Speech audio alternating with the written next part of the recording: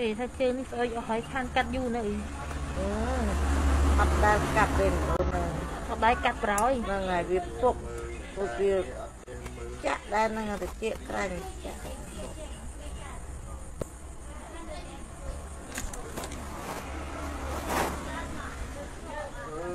ឈឺប្រាប់អីឈឺអត់អត់ទេ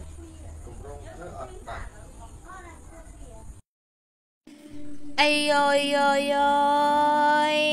ឆ្ងាញ់បកគេយាយ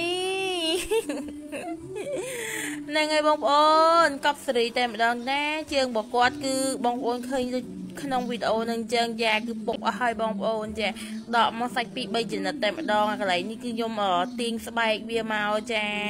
ហើយចឹងនិយាយថាវានៅសាច់ក្រិនកែមកែមនឹងទៀតណាបងប្អូនចាកាត់ជ្រិចជ្រិចជ្រិចជ្រិចជ្រិចអូយស្រីទឹកមាត់ អូខេហ្នឹងហើយហើយមកឆ្លើយតបនៅខមមិនបងអូនស្រីផងណាអរគុណច្រើនណាសូមបងតរហូតដល់បងតឲ្យហើយណាសំណាប់ទៀតសំណាប់បេះដូងហើយពួកអីអឺវីដេអូខ្ញុំឥឡូវអត់សូវបានចេញទេព្រោះតែសារខ្ញុំរវល់ច្រើនបងប្អូនអធិស្ឋាន